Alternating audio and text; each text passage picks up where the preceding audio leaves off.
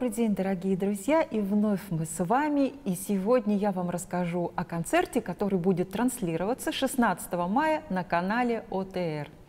А, мы с вами вновь прикоснемся к творчеству замечательного коллектива вокального проекта «Вива», с которыми тверской зритель уже давно познакомился и полюбил этих исполнителей. А, вокальный проект «Вива» всегда супершоу эстрадной, классической, поп и рок-музыки.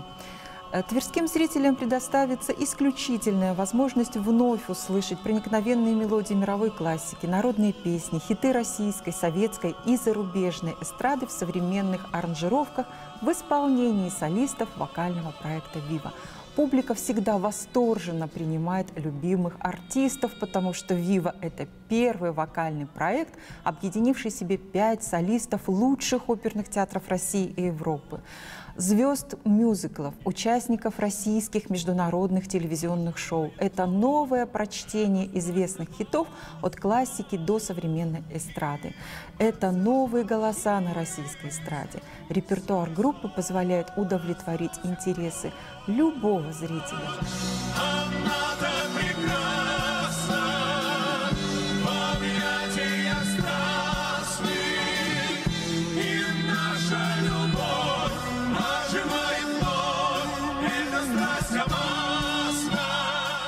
Теперь немножко из истории. Участники коллектива познакомились в 2009 году в Лос-Анджелесе на записи международного популярнейшего проекта Russian Tenors.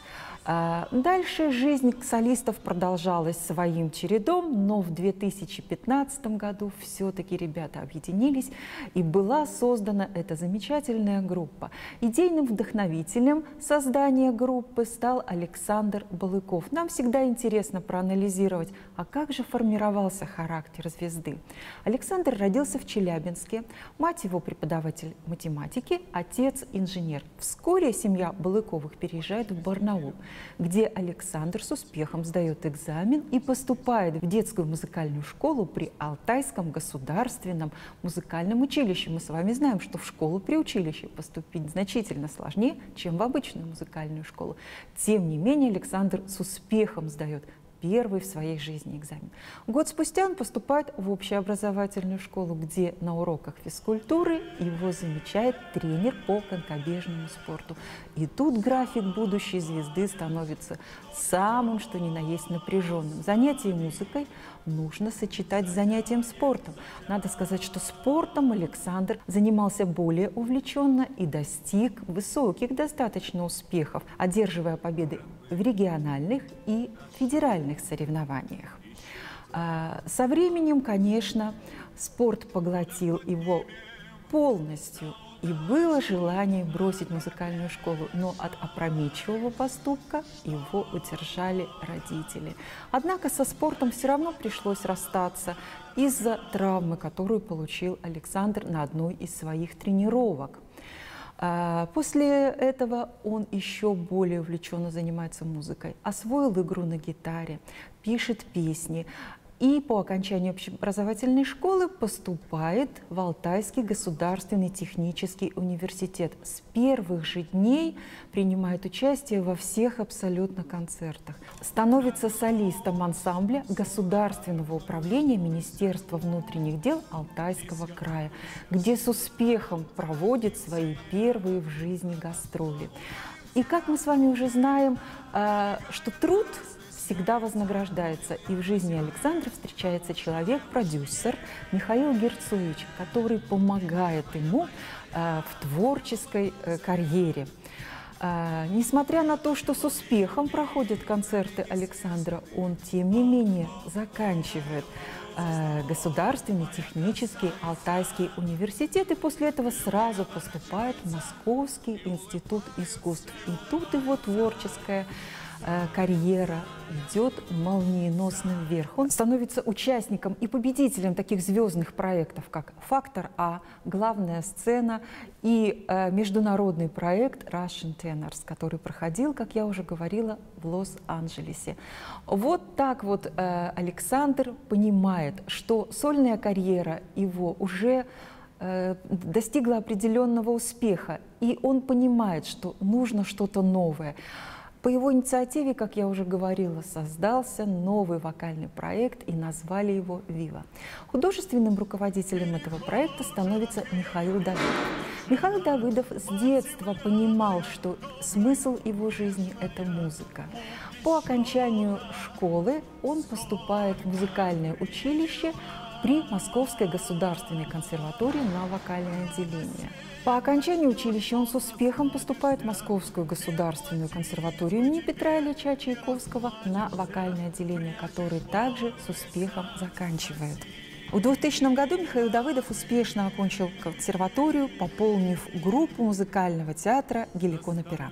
В настоящее время Михаил лауреат и дипломант восьми международных и всероссийских конкурсов вокалистов в Москве, Барселоне, э, Пекине, Вене, Токио, Калининграде, лауреат фонда Ирины Архиповой, в которой он получил золотую медаль, обладатель премии Грэмми. Еще один постоянный участник э, коллектива – это Филипп Черкасов. Филипп Черкасов родился в семье знаменитого пианиста Алексея Черкасова. Впитывая все детство лучшую музыку, всегда знал, что музыкой и творчеством будет заниматься всю свою жизнь. Филипп очень много работает режиссером, ставит спектакли, мюзиклы, концертные программы, пишет сценарии, тексты песен, является приглашенным солистом Пермского академического театра, оперы и балета имени Чайковского, а также постановщиком номеров и концертных программ для арт-группы «Хор Турецкого». В свое время Филипп с успехом закончил музыкальное училище имени Гнесиной и Академию российского вокала. Итак, следите за программой передач канала ОТР. 16 мая будет транслироваться концерт, который состоялся в киноконцертном зале «Панорама» вокального проекта «Вива» с жизнеутверждающим весенним названием «Живу для тебя». Радость заря. Летящей походкой ты вышла из мая и скрылась из глаз беленее Я желаю вам искренне наполниться положительными эмоциями и очень надеюсь на скорую встречу. Будьте здоровы и счастливы! Итак, я продолжаю уже полюбившуюся рубрику «Бесспорно интересно». Интересные и познавательные факты из истории Твери. Издавна места, отличающиеся чем-то особенным, получали в народе прозвища. Так, например, рязанцев называли «Рязань-Казапузая», тульских жителей – самоварщиками, жителей Вятки звали «Вятские ребята хватские», тверичи же именовались «Тверскими козлами». 300 лет назад на границе Тверской и Новгородской областей стоял столб, на котором были размещены два герба.